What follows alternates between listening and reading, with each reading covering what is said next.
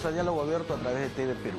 La población indígena en nuestro país representa aproximadamente el 7% del total. Y sobre ese particular vamos a hablar esta noche, Maite.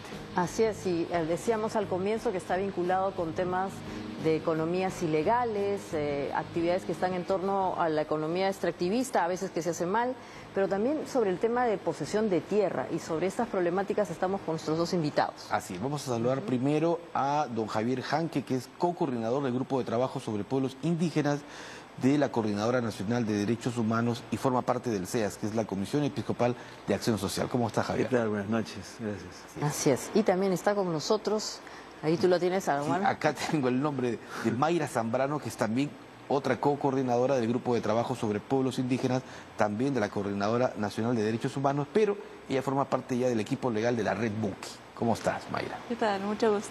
Muchas gracias a Mayra y al señor Javier Yanque. ¿Y cuál es exactamente la situación?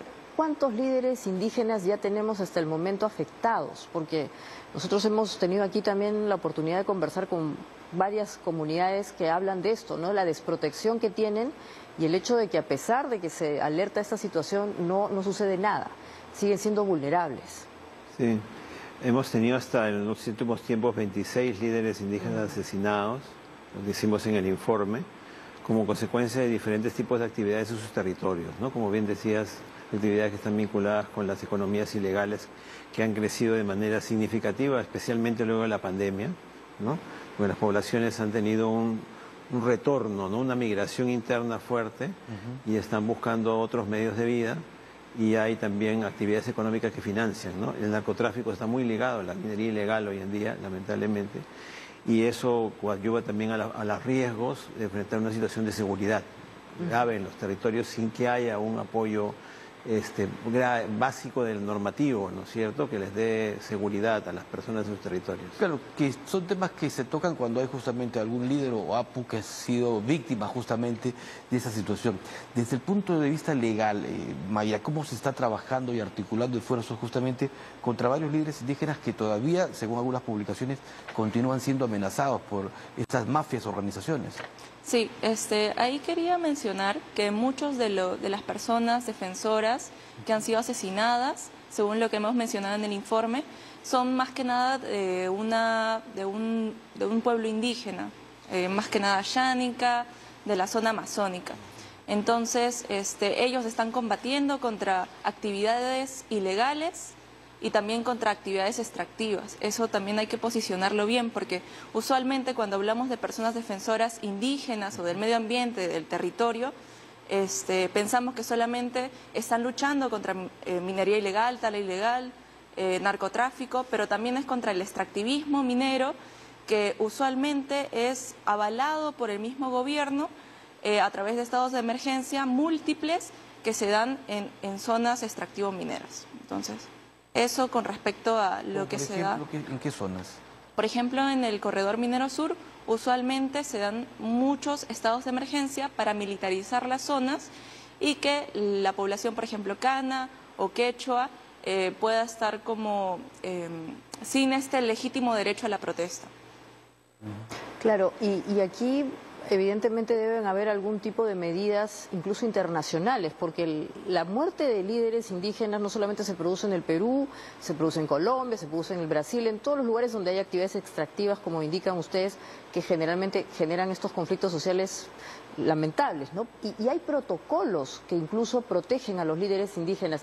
En el Perú se están observando esos protocolos. Mira, primero, para comenzar, como decía Mayra, eh, en, los, en los territorios amazónicos, en toda América Latina, eh, hay un gran impacto de la afectación de estos líderes asesinados. ¿no? Más del 70% de los líderes asesinados en América Latina están en la Amazonía.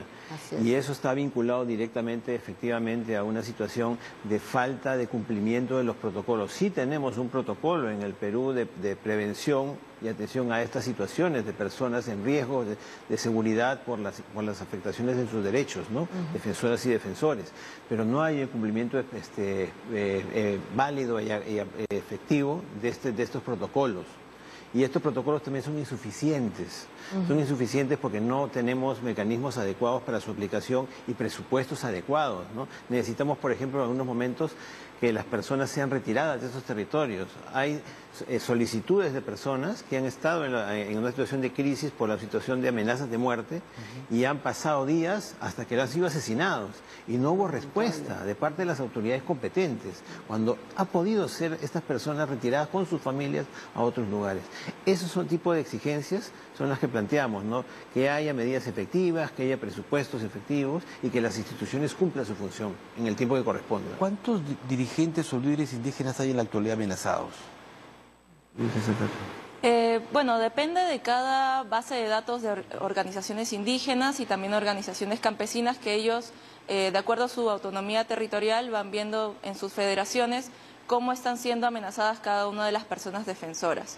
Entonces, esos datos eh, vamos a ir acoplándolos también. La Coordinadora Nacional de Derechos Humanos tiene una unidad sobre personas defensoras también que ve estos temas ligados con organizaciones indígenas. ¿Y la Red Muki ha hecho algún balance que tiene hasta el momento? La Red Muki tiene una campaña nacional de defensores, articula con organizaciones eh, indígenas, campesinas, costeras, este, para ver esos temas. Eh, no tenemos una data eh, relacionada a cuántos líderes están amenazados, también porque ellos no quieren exponerse a que pueda haber una, base de datos con sus nombres. Eso, eso es bastante importante también, porque hay muchos líderes que son criminalizados o amenazados y no quieren salir en los medios o no quieren como que sus datos estén escritos. Sin embargo, tanto el, Ministerio de Justicia y Derechos Humanos, ¿no es cierto?, como la coordinadora, como bien decías, tienen una, una base de datos de personas que han hecho denuncias, que han, que han hecho eh, por amenazas de muerte, ¿no es cierto?, que, este, que, que, consideramos que debe prevenir la situación antes de esperar lamentables muertes posteriores. ¿no?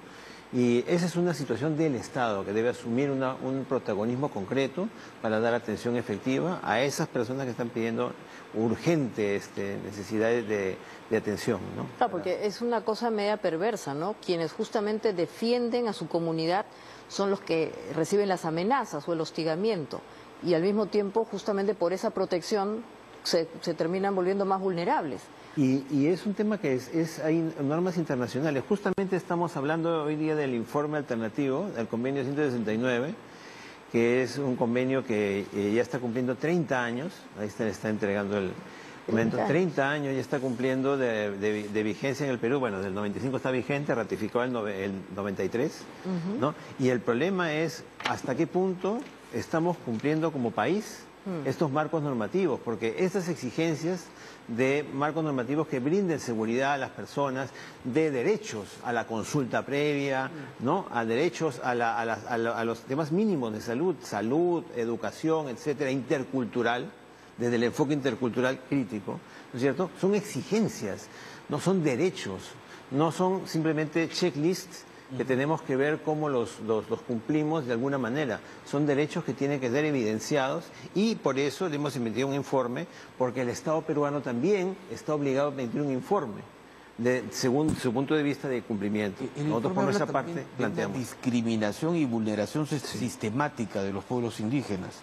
Así es. Lo que hemos evidenciado también durante las protestas desde el 7 de diciembre, eh, que se han prorrogado hasta marzo aproximadamente, es que hubo mucha vulneración eh, sistemática, eh, discriminatoria hacia los pueblos indígenas, más que nada quechuas y aymaras, que han venido desde Puno, Cusco y otras zonas andinas hacia Lima para que sus voces sean atendidas, sean escuchadas. Y la gran mayoría de, estos actos han sido evidenciados también con informes internacionales como de la Corte de la Comisión Interamericana de Derechos Humanos eh, y otros organismos internacionales también que han dicho que esta, estos actos del Estado han sido bastante vulneratorios y discriminatorios. Creo que un tema interesante también de compartir al respecto es que estas situaciones de conflictividad que se presentaron hay que cruzarlas con la conflictividad que ya vive el país de mucho tiempo atrás, vinculada con las actividades extractivas. Los mismos territorios donde se han presentado gran parte de las principales protestas sociales en el último tiempo justamente están vinculados con territorios donde hay actividades extractivas. La Defensoría del Pueblo, en el último tiempo, hoy día en el, informe, de la, ACNUT, la Oficina de Alto Comisionero de Naciones Unidas, lo recordaba, hay un 77% de los conflictos sociales en el país vinculados con conflictividad socioambiental. Seguramente. Y entonces si no, si no atendemos estas perspectivas de conflictividad, en los problemas que están detrás, como son la desnaturalización de la consulta previa, que es un problema, en minería se hace una consulta previa sobre una resolución que no tiene ningún efecto mayor, y entonces eh, sobre la concesión misma, al otorgar un derecho, en al otorgar un derecho para iniciar una actividad minera, entonces las poblaciones empiezan a, generar conflictividad y esos son los problemas que estamos evidenciando ahora en este informe. Sí, definitivamente es un tema que en, este tiempo, no, en esta conversación no lo vamos a poder terminar de abordar, pero es importante al menos dar las pinceladas y reclamar lo que ustedes están indicando, que sea un enfoque integral, ¿no? En donde se proteja, obviamente, el propio derecho a defenderse, que es lo que justamente están haciendo estas poblaciones. Sí, y yo quería dejar un, tema concreto, puede ser, este, justo desde Iglesia, yo, vengo de la Iglesia Católica, el Papa Francisco nos ha planteado esa preocupación justamente por desde la encíclica Laudato Si y la, querida Amazonía, que los pueblos amazónicos son los más afectados en sus derechos. Se ha levantado la voz y queremos también por eso levantar la voz eh, recogiendo ese clamor de, una, de, un, de un Estado que reconozca los derechos de las poblaciones indígenas y que cumpla con las normas internacionales, que es lo, mínimo indispensable que se necesita y que tiene un rango constitucional. Y lo, dijo Madre de Dios justamente durante su presencia en esa zona. Así es. Muchísimas gracias Javier, muchísimas gracias Mayra por haber estado esta noche aquí en Diálogo Abierto por TV Perú.